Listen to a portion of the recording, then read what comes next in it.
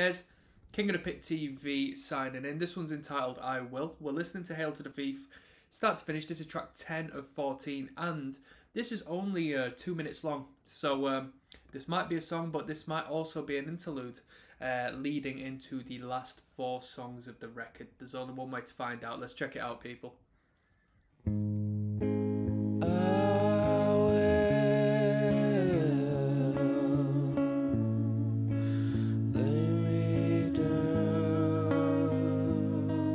That backing vocal sounds like a a wobbling violin.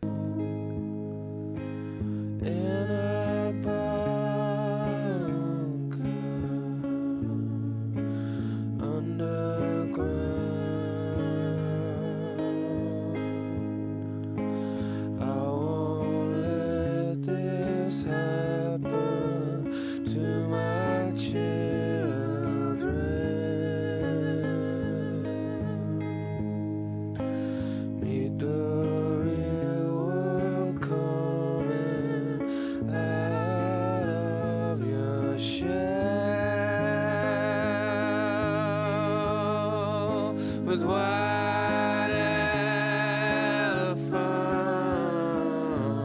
There's an incredible use of the uh, vocal layer layering within these songs, vocal harmonies and so forth.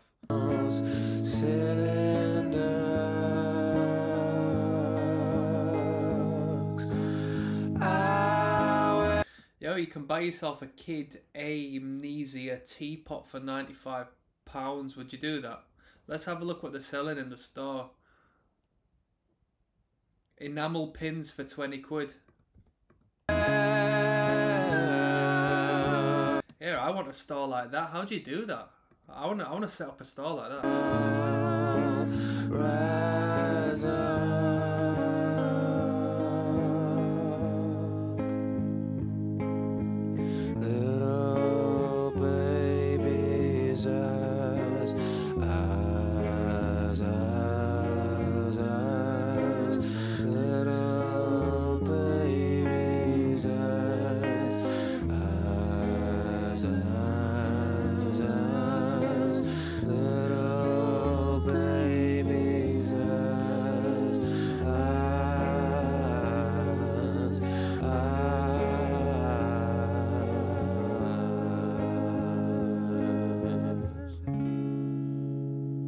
Let's keep it moving. Let's keep it moving.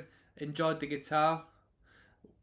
Conceptually, we're talking about youth. I almost uh, sort of picked up a message to maybe an unborn child or something along the lines of that.